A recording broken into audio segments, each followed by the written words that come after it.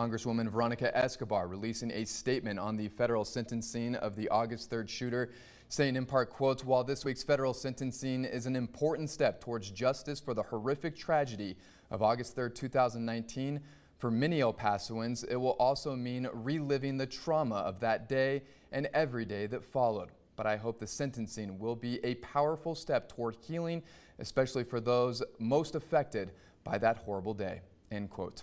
Proceedings will continue tomorrow. Shelby Cap will have continuing coverage throughout the week. And if you missed any of our coverage today, make sure you head on over to our website, ktsm.com.